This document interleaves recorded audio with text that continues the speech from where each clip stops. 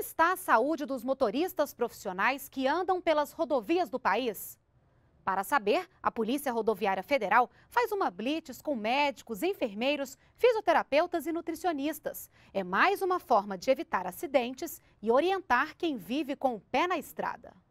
Essa blitz no posto policial federal da BR-040, perto de Brasília, foi um pouco diferente. Em vez de policiais em busca de irregularidades no trânsito, médicos, enfermeiros, fisioterapeutas e nutricionistas. Pelo menos 140 motoristas foram atendidos só neste posto do Distrito Federal. Uma pausa para saber como anda a saúde do condutor. Aqui nesse stand, por exemplo, ele recebe a vacina contra várias doenças.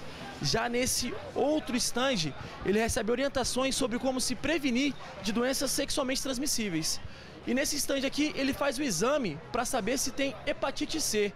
Doutor, qual que é a importância desse tipo de exame para os motoristas?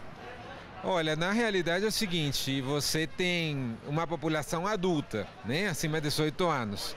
Essa é uma população que é, é a mais atingida pelo vírus da hepatite C, uma vez que o vírus da hepatite C causa uma doença que é silenciosa.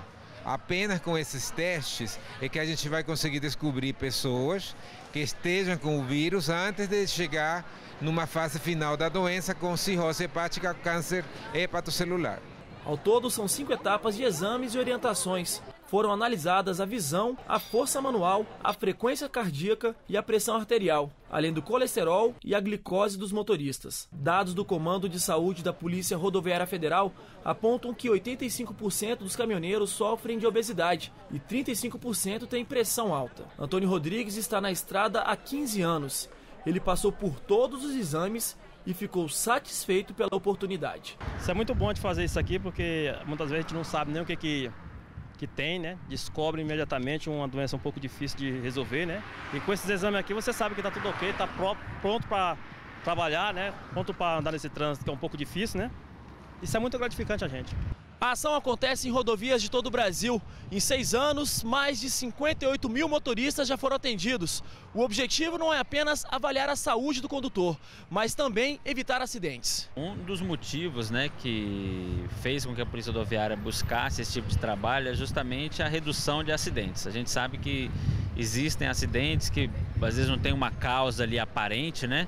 E aí o caminhoneiro ele pode ter tido um mal súbito, como exemplo um infarto, ou mesmo desmaiado na condução do veículo ou até dormindo ao volante, em virtude de carga horária excessiva ou um problema de saúde. Então pensando nisso, é, se desenvolveu essa atividade com o objetivo justamente de orientar o caminhoneiro de que ele tem que cuidar da saúde dele para ter uma condução do veículo mais tranquila.